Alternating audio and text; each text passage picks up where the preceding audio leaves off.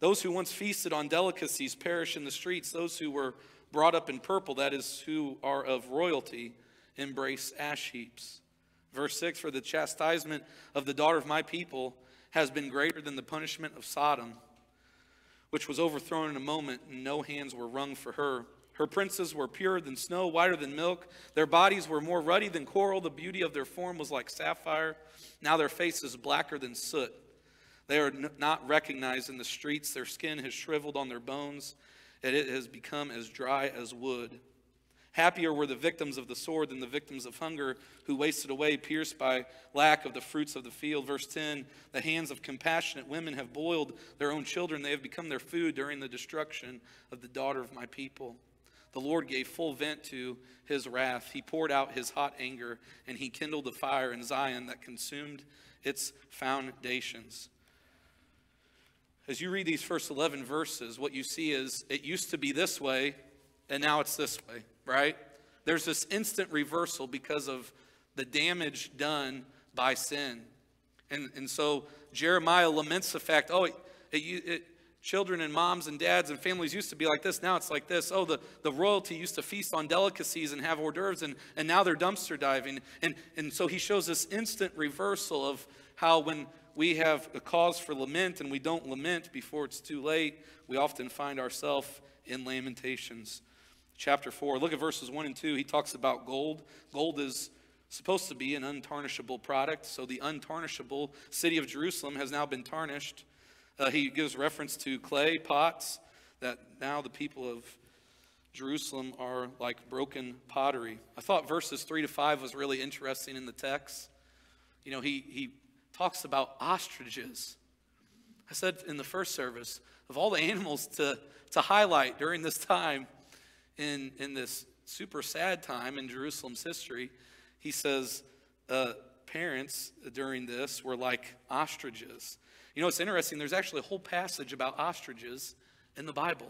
You're like, prove it. Well, I'll prove it to you. It says this in Job 39, 13 through 16. The ostrich leaves her eggs to the earth, lets them be warmed on the ground, forgetting that the wild beast may trample them. She deals cruelly with her young as if they were not hers. I'm not an ostrich expert, so don't go away thinking that I have my doctorate in ostrich studies. I've only read Job 39. But it's a, apparently the ostrich mom will lay the egg, kick some dirt up on it, and just go away and let her child figure it out. Now, that would seem cruel and unusual if a human mom or dad had a baby, and then shortly after its birth, say, kick some dirt on the baby and say, Good luck with life, son. Good luck. You know, you get DCFS called on you if you do that, right? You know, that's not a good thing. And so what's interesting is all this is playing out, and here's really the first common cause for lament, if you're taking notes, is misplaced trust. All this is happening in Lamentations chapter 4, as I'm going to elaborate here in a second, is because their trust was in the wrong people and the wrong things not namely in God. All throughout the Old Testament, God just says emphatically, time after time after time, if you will obey me, if you will follow my commandments, I will take care of your every need. You will never have to go through a time of lamenting in the book of Lamentations if you would just hang with me and live for me. So, uh, on the note of ostriches, uh, the, you know, a cruel ostrich mom just leaves her kid to get trampled on. There's also an interesting uh, animal called the quokka. Quokka. Can you say quokka with me? Beth really liked this first service. Say quokka. Quokka. Quokka is this kind of animal. You ever, you ever felt like a bad parent before? And all the parents raise their hands, right? Like we, we really try our best each day to say, I'm going to really get it right this time. and if you're feeling like a bad parent this morning, quokkas toss their babies at predators so that they can escape. That literally, when, when threatened by a predator, they will drop their young they're little Joey because they're part of the wallaby family, so they're like a miniature kangaroo version of an animal. And they'll drop their baby so the, the baby will make noise and be a distraction to the predators. they can run off. And every mom and dad said, I've been there, I've, you know. Yeah. So whether you're an ostrich or a quokka, you know, whatever you are, that's the point of this passage is look how crazy it is. You know, it's, it's, it's hard to believe that ostriches and quokkas are hardwired to do that. But the point here is way more of a saddening note that this is happening not with quokkas, not with ostriches, but with who? human moms, human dads, that the children are suffering because of all of this unrepentant sin and this misplaced trust. You see this at the very beginning of the book of Lamentations. If you flip back a page or two to Lamentations chapter 1, the second verse.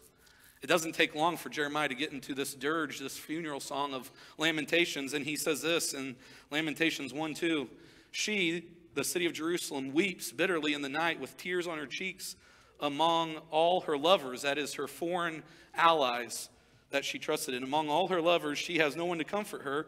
All her friends have dealt treacherously with her, they have become her enemies. Coming back to our text in chapter 4, it says in verse 6 that Jerusalem's destruction is slow. It's like a crock pot, not like a microwave. Verse 6 gives the example. Says, Remember how Sodom and Gomorrah were destroyed by fire instantly at a moment's notice? He said, Man, better that than this. He even says similarly the same thing in verse 9. Uh, he says, uh, oh, let me get on the right page here. Verse 9 Happier were the victims of the sword than the victims of hunger. You know, rather die by the sword than die from starvation. And so Jeremiah laments all, and he gives all these different examples of all these different things that are going on. Verse 5 the princes who were eating hors d'oeuvres and feasting on filet mignon every day, now they're dumpster diving for bagels in the dumpster. You know, just everything was one thing, and now it's this other terrible thing, Jeremiah says. A question I want you to, to ask about this, and this all happened because of misplaced trust. And so, something I want you to think through applicably for this first point is where have I been burned with misplaced trust? What's something, someone, some achievement, something that I finally got that I thought would be the game changer in my life? It turned out to not hold up to its advertisement.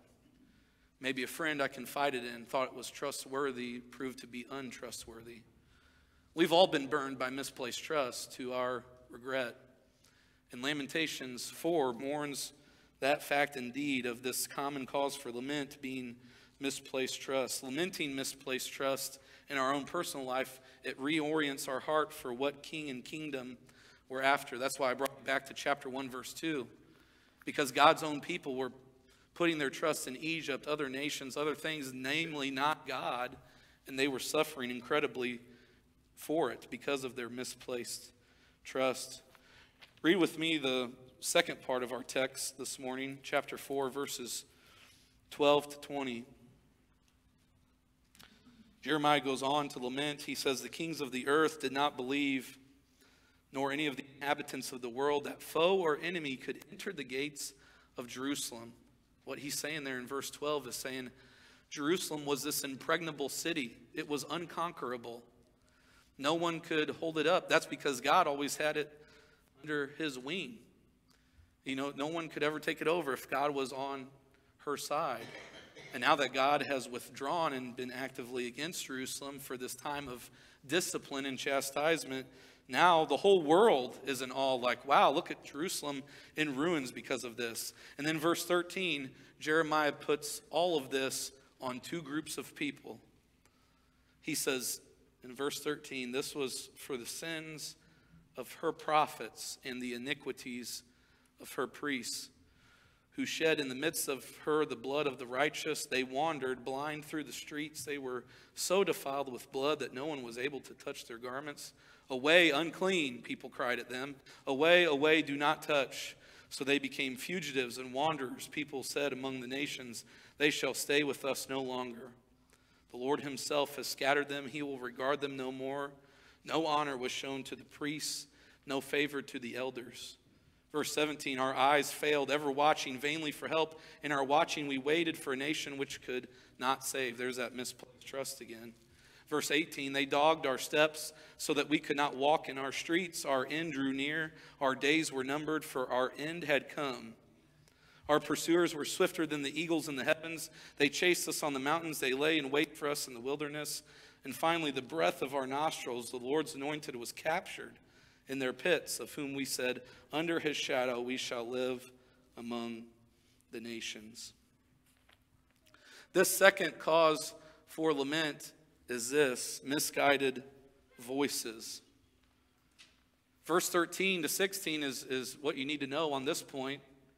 Jeremiah puts it and pins it on the priests and the prophets, namely the prophets that were false. Jeremiah himself was a prophet, right? A true prophet that spoke from the Lord, the Lord's word. But many people were citing false hope and giving sermons and messages from, quote, the Lord that they thought the people wanted to hear, maybe that they wanted to hear themselves. Paul, false prophets are the same as today as they are yesterday and in Jeremiah's day and for all time, is that simply that they don't proclaim God's word faithfully. They give, quote, a false word from the Lord. And so what happens is for 40 years during Jeremiah, as he was trying to be a true, faithful prophet, he was battling all these opposing voices. So, for instance, let me let's just walk through one of these examples in the book of Jeremiah. Jeremiah comes right before Lamentations. Jeremiah writes the book of Lamentations, and so speaking from personal experience on misguided voices and trying to battle against that, we read in Jeremiah 26, 8, when Jeremiah had finished speaking all that the Lord had commanded him to speak to all the people. Stop and just look at that first part of the verse. What has Jeremiah done? He's spoken everything the Lord wanted him to say. He hasn't held anything back. You know, sometimes it's really hard for us to hear negative stuff. We would call it negative. Uh, maybe another synonym would be hard. Hard, challenging things, things that are not fun to hear. Does that negate the truthfulness of those things? No. Just makes it hard to take. Steve Lawson famously said, The Bible is not hard to understand, it's hard to swallow. Isn't that the truth? Thinking about the, these misguided voices that Jeremiah battled, he, it says that he finished speaking all that the Lord, he said it all. He didn't hold anything back. He was uncensored with the message from the Lord. And he said it to how many people? All of them. Then the priests and the prophets. Look what it says in Lamentations 4:13. That, that's why he pins it on them. He says it's because they have constantly pointed people God's people away from the right direction. Then the priests and the prophets and all the people laid hold of Jeremiah, saying, You shall die. Oftentimes, when a voice comes into our life and, and gets our ears' attention, we say, ah, Man, I, that's a hard saying. I don't like it. Kind of has some negative ramifications for my life, so I'm going to cut it out. And oftentimes, Satan has so deluded us that the only voices that we need to have in our inner circle in our life are people that are positive, people that agree with everything we do. And I'm here to tell you today that is a false voice. Even the Supreme Court would testify that it's important to have dissenting opinions, whether that's the agreeable thing or not. The, the reason you need to have disagreeable voices in your life is because it gives you a different perspective. It sharpens you. Even if you don't agree with it, it still making you think through different filters, different perspectives. So look what happens three verses later with Jeremiah when the, all the people say, Jeremiah's got to die. He's a false prophet. It says, then the priests and the prophets, they take their turn. The bad voices, they say to the officials and to all the people, this man deserves the sentence of death because he has prophesied against the city as you have heard it with your own ears. They decided and concluded because Jeremiah's quote word from the Lord was a hard message to swallow because it was negative, because it was saying that God's holy city, Jerusalem, is going to lay in ruins. They concluded, well, that's got to be a false message from the Lord because no way the Lord would ever do that. And so they say, off with his head. It's no different than Jeremiah's day than our day that people would rather have their ears itched than be in right standing with God. Isn't that the truth? So oftentimes we, we like to hear something that doesn't really go against the grain of whatever is going on in our life because we're creatures of habit, we're com- we like comfortability. And really, I think if we're honest, a lot of times we don't like being challenged on something. And Jeremiah's job was to challenge the people of God with these hard messages from the Lord. And so it even goes on. A couple chapters later, a, false prophet, a false voice, Hananiah, comes on the scene, and he says, Hey, this consequence, this chastening period is only going to last for two years. He says, Within two years, I'll bring back to this place everything. Within two years, just hold on for two years, and God's going to make it all right. You know what happened to Hananiah? Because that was not what the Lord said, and that was what his desire was, but he spoke it at, with the Lord's authority. It says at the end of that chapter, Therefore, thus says the Lord, Behold, I will remove you, Hananiah, from the face of the earth. This year you shall die, because you have uttered rebellion against the Lord. In that same year, in the seventh month, the prophet Hananiah died. So they're wanting to off Jeremiah because he's actually speaking the uncensored word of God. And then two chapters later, they see the Lord's judgment on one of these false prophets to say, You guys better listen to Jeremiah. So then Jeremiah comes on the scene, the very next chapter, 29:10, and he says, How many years is it going to be? 70, right? He says, When 70 years are completed, I will visit you and fulfill my promise to you and bring you back to this place. A lot of people's favorite verse is the next verse, Jeremiah 29 11. this is a good verse. I can see why a lot of people are gravitate to Jeremiah 29 11. These are the plans I have for you, says the Lord, plans to give you hope and a future, you know, and, and to prosper you. It sounds certainly encouraging. It was certainly a welcomed word from the Lord, you know, considering the, the state of lamentations.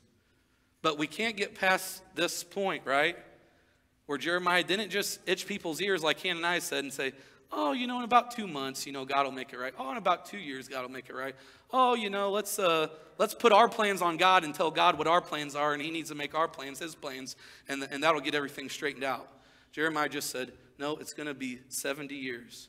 So that promise that comes the very next verse came right on the heels of Jeremiah saying, Not for 70 years. There's going to be a waiting time and there's going to be a long disciplinary time with this kind of action. Paul said this to the Corinthians in 1 Corinthians 15 33 Do not be deceived. Bad company ruins good morals. Isn't that the truth?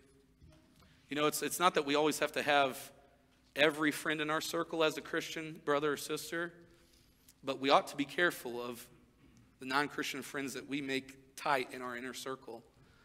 Because he's quoting a, a, current poet of the day in that verse, Paul is. And so not only was that the cultural norm, uh, it's still a, a truth held up today in the Christian church that we need to really think. So think through this second point of misguided voices. There's a, a two sided coin on this. Who are voices I need to cut out of my inner circle? Who are people that don't really uh, challenge me in a Christian way, keep me sharp and keep me honest, keep me accountable? And maybe I've cut out people like that. So, the opposite side of the coin, who are people that I need to bring back into my circle, in my inner circle? Maybe for the first time in my life.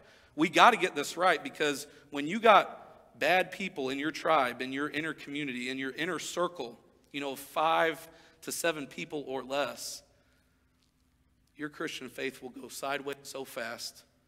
You'll be lamenting it just like the people in Jerusalem in Lamentations chapter 4, saying, Wow, we had all these false voices in our head. We were listening to them for 40 years of our life, and look where it landed us smoldering ruins of Jerusalem. This happened even with Adam and Eve. This is how sin got started in the first place. God's voice reigned, gave Adam and Eve their direction, gave them literally almost unlimited freedom, gave them one command don't eat from that tree. And a false voice, a snake's voice, came in and slithered into their ears and said, Did God really say that? Do you really need to do it His way? Why don't you do it your own way? So you can see from the beginning of creation, Satan has been at work with false voices, snake voices, if you will, to, to get us to believe these misguided voices. And we ought to be on guard because we've probably all been burned by voices that we gave credibility to. Someone telling us to do something some way or not do something. And in hindsight, we should have done it or we should have not done it. We need to get that right of who are the voices in my inner circle. Look at verse 20 again with me in the text of chapter 4. The breath of our nostrils, the Lord's anointed, was captured in their pits, of whom we said, Under his shadow we shall live among the nations. The Lord's anointed in that verse is referring to King Zedekiah. That was the king at the time for Jerusalem. And that what that verse is saying is, man, all our hope was in him. Uh, uh, we were all in on King Zedekiah, that he was going to be our Savior. Now, that's never happened in human history, thinking that an earthly political king is going to be our Savior, has it? Boy, that is an ongoing problem all the time, right? Jesus, when he was feeding the 5,000, it says they were ready to take him and put him up as a king, and it says he went off into the mountains to escape and to pray. And so, in, in the same way, Lamentations laments this third cause for lament, and that is this misbehaved leaders. So think about verses 13 to 16 and 20. It's talking about prophets, priests, the king, how all three of these huge office positions in the nation of Israel all failed. The prophet tethered people to the vision of God, the priest facilitated access to the presence of God, the king facilitated military and civil leadership on behalf of God. And historically, all three of these offices worked in unison to serve one another. But now the threefold foundational leadership of Israel is in ruins. I want you to think about how this really applicably applies today.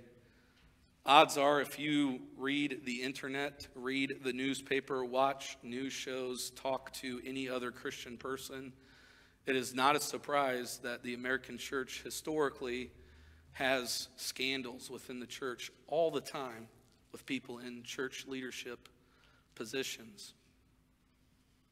It's a tragic shame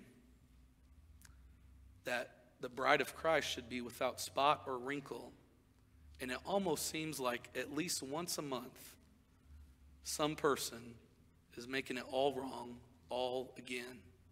We read about it in the Old Testament, read about it in the New, and experience it in our day to day reality and read about it in church history for the last 2,000 years. Misbehaved leaders have been a huge cause for lament in the kingdom of God for far too long.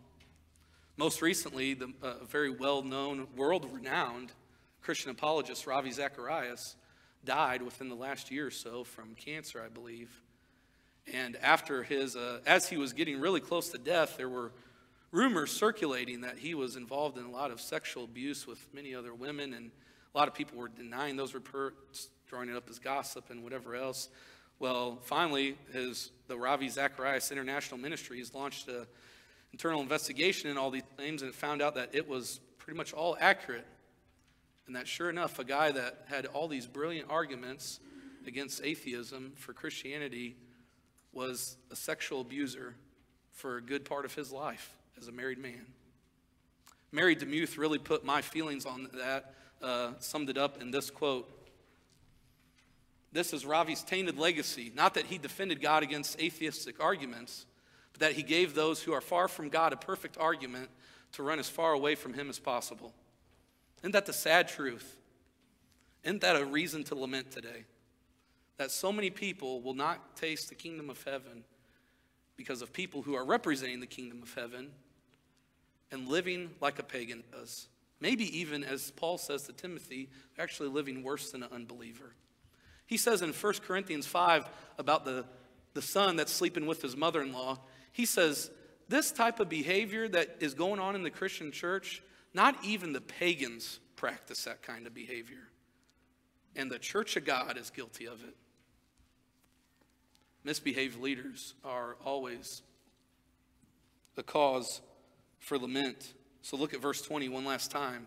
King Zedekiah is the Lord's anointed. It's not talking about Jesus there in verse 20 when you read the Lord's anointed. The, the, the, the Lord's anointed is referring to King Zedekiah, the current king in Israel. And they're saying all our hope is in him. King Zedekiah is going to lead us to the promised land. He's going to give us this future. He's going to, he's going to do all this. They say, quote, under his shadow we shall live among the nations. We'll have security.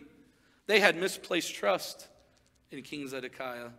They had listened to misguided voices, probably promoting that King Zedekiah is going to be the difference maker from the prophets and priests. And now their leadership has totally crumbled and fallen. If you read Jeremiah 39, you'll read of King Zedekiah's demise.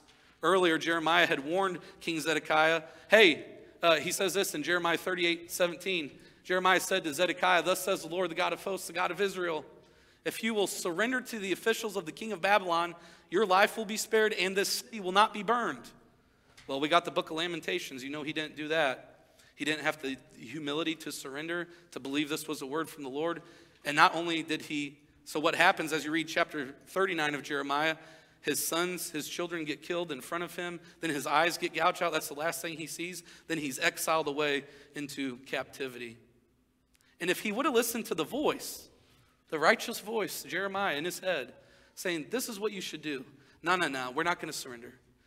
In the same way, that's how salvation happens with the gospel, is it starts with surrender. Look at verse 18, the end of it. Jeremiah says, Our days were numbered, our end had come. We're left reading Lamentations 4, stopping there today was saying, Wow, they need a Savior. The priests weren't the Savior, the prophets weren't the Savior, King Zedekiah wasn't the Savior. They need a Savior. We read this in John 8 to close today, 34 and 36. Jesus answered them, Truly, truly, I say to you, everyone who practices sin is a slave to sin. Lamentations puts that in words and paints pictures of what that looks like being a literal slave to sin and a metaphorical slave to sin. Lamentations is the perfect picture of that reality. And Jesus says, This is the case. So if the Son sets you free, you will be free indeed. The The good news of the gospel is that not just the Jews in Lamentations 4, as their lives were in ruins because of sin, me and you's lives are in ruins because of sinful choices from ourselves, from leadership, from other people around, people who have hurt us, us hurting people, vice versa, all the way around. Sin has corrupted and cursed all of mankind, the Bible says. None are righteous, no, not one. The common cure for all of this is Jesus. Prophet, priest, and king, we're all getting it wrong, but it's good news that Jesus was a prophet. It's good news that he is our all time high priest, as the book of Hebrews says, that he is not prevented from continuing in office because of death, because he lives forever. It's good news that Jesus is not just some king on a long line of kings, but that he's the king of kings. Amen? Amen. That Jesus is literally this difference maker for us. That Lamentations wasn't just the Jews in 600 BC, you know, reality. That's our reality as well. These three common causes for lament of misplaced trust, misguided voices, and misbehaved leaders, it points us to Jesus. I'll leave you with this story. I was listening to the radio coming from Effingham to Olney one day. This was like three, four, five years ago. And they were talking about Jesus' ability to save and how it's tied with his lordship. So, in other words, a lot of people will read verses like this and raise their hand and say, Yeah, I want Jesus to be my Savior. That sounds good to me. I'll take Jesus as my Savior. But a lot of people push back and are hesitant when we say, well, Jesus first has to be Lord before he's your Savior. That means that the Word, the Bible, is authoritative to your life now, that Jesus has, in a very literal sense, lordship over your life. It's going to create this Christian lifestyle change, this regeneration in your heart that's going to change your behaviors, your actions, your inactions. And they said the reason that Jesus is qualified to set people free and to be their Savior from sin is because he lorded over three things sin, death, and Satan. He, in other words, he saved himself from those three because he lorded. So he lords over sin because he was tempted as we are, yet without what? Yet without sin. He lorded over death because he was killed by death, but then rose back from the dead. And so death could not keep him down. And he lorded over Satan by rejecting every temptation that Satan threw at him time and time again and overcoming Satan himself through his resurrection bodily from the grave. Jesus is qualified to be our Savior because he's Lord first. Amen. And so if you don't know him as Lord today, that's where Lamentations 4 points us to, is we all put our trust, our hope in all these different saviors, all these different things, all these different people. And we all lament the fact of when we have done that and it hasn't been Jesus because odds are it has turned out disastrously for your personal life. And so I point you to Jesus today. As you lament the times you've had misplaced trust, as you lament the times you've had misguided voices in your head that you've given credibility to, and as we lament the fact of bad leaders in church history, it all points us to a guy that finally came that fulfilled all three of those offices, that was perfect, that got it right every time, who's the husband of the church, the perfect Lamb of God, Jesus Christ. As we lament these bad things in our personal life today, let us also celebrate and recognize that Jesus paid it all for us and makes it different so that we can live differently for his kingdom. Will you pray with me? Lord, we thank you for Lamentations 4. It is not a fun chapter at all. It's morbid, it's disgusting, it's repulsive, it's all the words. But Lord, man, do we see ourselves in the text this morning where we've all put trust in things we shouldn't have, where we've all banked on things we shouldn't have and people that we shouldn't have, where we've all listened to people we shouldn't. May we cut out these false voices that we need to cut out of our life. And Lord, by your Spirit and by the help of other Christian brothers and sisters, may we help analyze what voices we need to bring into our circle. God, I lament the misbehavior of church leaders throughout the ages. I hate it. I despise it. And we know that you are against it. I hate that the church has so many spots and wrinkles time after time because we keep getting it wrong. But Lord, may that reason for lament today also be our reason to be different, to take accountability when we sin personally, to repent humbly when we are in the wrong, and to make it right and to attempt reconciliation as Jesus would have it, so that we can rebound from these lamenting times and show that the church and the bride is not perfect, but we're being perfected by the blood of the Lamb who paid it all. God, we love you. We thank you for Jesus who paid it all and sets us free as sons and daughters and not as slaves to sin. In Jesus' name, amen. Would you please stand with us?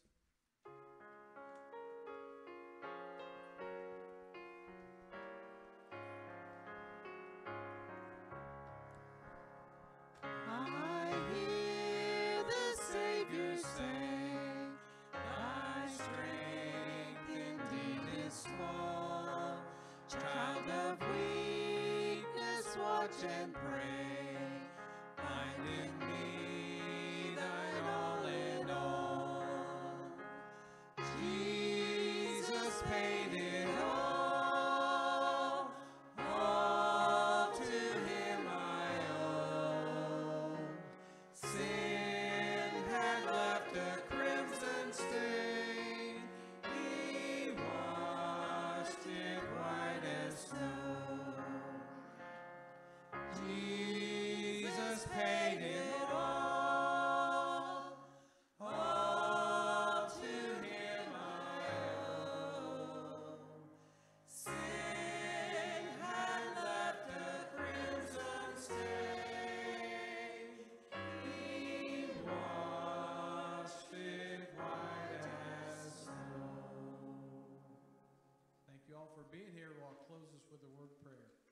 Heavenly Father, we thank you for this day. We ask that you be with us throughout this week. Father God, if there be any needs or concerns that uh, somebody may have had on their mind or on their heart that uh, didn't come forward today, please know that we're always here, being in the leadership to speak with you and help you and talk with you. We just give God all the praise and all the glory. We just hope that your week uh, is blessed. In Jesus' name we pray. You're dismissed. We'll sing you out here. Great